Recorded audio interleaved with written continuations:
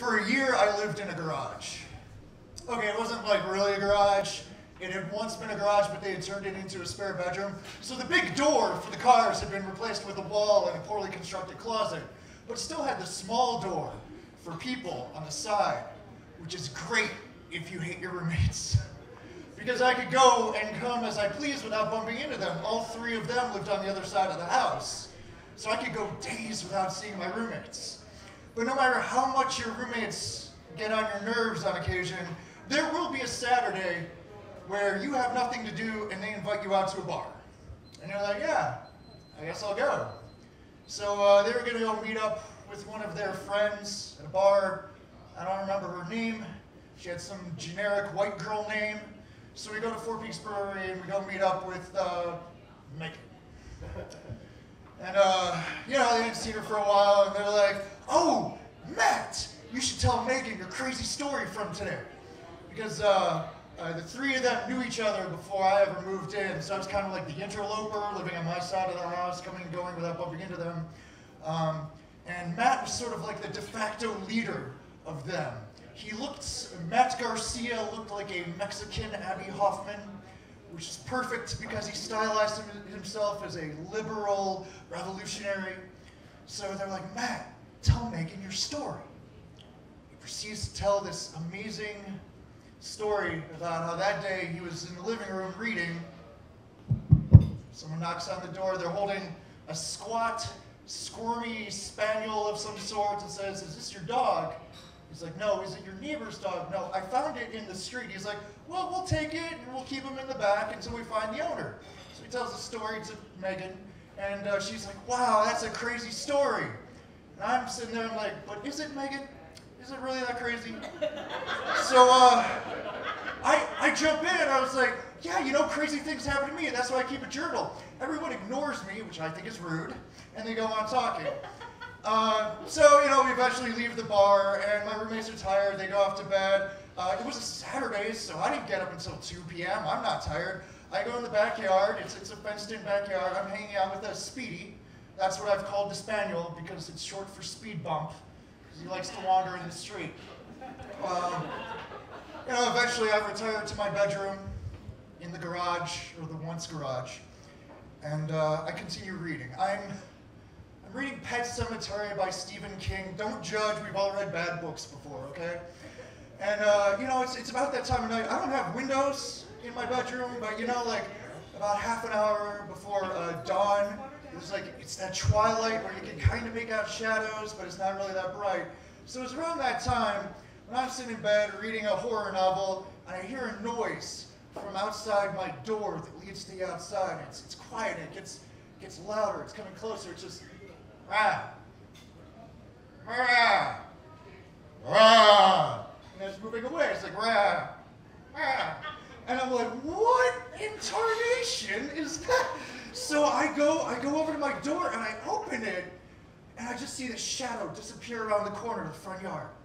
I was like, what is going on? I go out into the living room, but I'm looking out the, the bay window. I can't really see anything. It's still pretty dark. So I flip on the patio light. I open the front door. Right there, about eight feet in front of me, is two and a half foot tall, chocolate brown kid goat. Okay? At this point, I was just like, okay, I, this is weird. I can't wait it to rub, I can't wait to rub it into Megan's stupid face. Uh, but I'm gonna need some backup because no one's gonna believe me. So I'm there and I'm just like, is, is anyone awake? No one's awake. It's dawn. Of course they're not awake. So I was like, okay, I, I got a plan. I'm gonna, I'm gonna open the gate on the side of the house that goes in the fenced-in backyard. I'm gonna rustle the goat into the backyard so that when my roommates wake up and they see a goat in the backyard, they'll be like, ah, see, I told you crazy things happen to me. Uh, so I, I run out the side of the yard, I open the gate, I come back out and the goat's gone. And at this point, it's like I'm thinking what you would normally think. I'm like, was I hallucinating? Because I did eat some questionable Thai leftovers early in the night. And that seems like a much better explanation of what's going on. But I see my neighbor's out in his front yard and he's watering his plants because I guess that's what people do at dawn. I have no idea. So I go over to him and I say, Hey, good morning. Hey, excuse me, this is gonna sound weird. Have you seen a goat? And he's looking at me like someone, like I just, I just asked him if he's seen a goat. Because we're in Tempe, Arizona. I'm a half a mile away from Arizona, uh, Arizona State University campus. It's a big suburb of a huge city. It's not like we're in the middle of the country. So he looks at me, and I'm like, I try to explain it. Well, you, you don't understand because there's a goat, and then like I whistled, I try to get it to come close to me, but it's not domesticated, blah, blah, blah. And uh, so I'm saying all this, and the goat runs out in the middle of the street, stops, and is looking around. And he says in the most matter-of-fact voice, yep, that's a goat. so I'm like, okay, I can still, I can still rustle it around. Of course, by this point, Speedy, who's been hanging out in the backyard, has figured out that he could get out of the backyard. So he comes trotting out.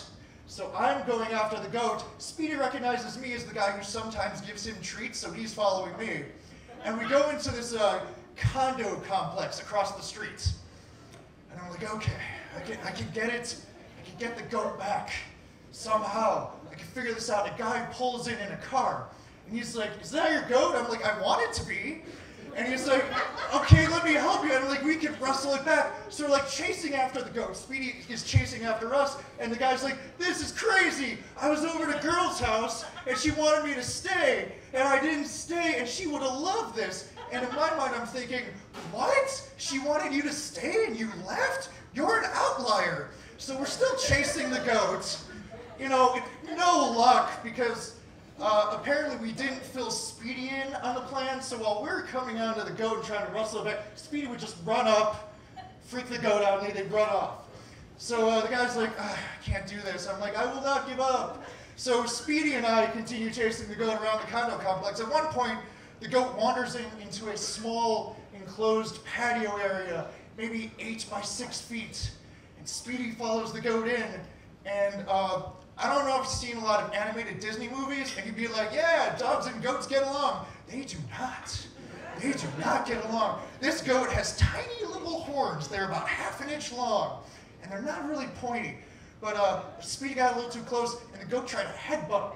Speedy got the message and took off, and then the goat took off. And then I'm chasing after the goat. Speedy's chasing after me.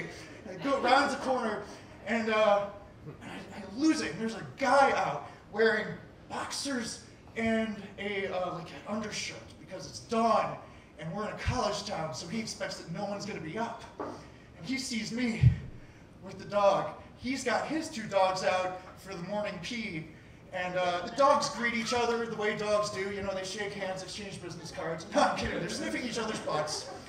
And the guy's like, "Yeah, I saw you. I saw the goat, and then I saw you." And I thought to myself, "Oh, that poor boy's lost his goat." Which is the only time that man has ever thought that in his life, I hope. So I finally get I finally get Speedy and I bring him back to the house and I lock him in the backyard. I go back in my bed and I fall asleep with the giddy knowledge that if I ever run into Megan again, I'm actually going to have a crazy story for her. Thank you.